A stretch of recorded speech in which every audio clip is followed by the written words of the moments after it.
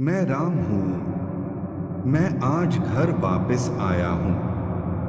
पाँच सौ साल बाद मुझे घर वापस लाने के लिए आप सभी का धन्यवाद।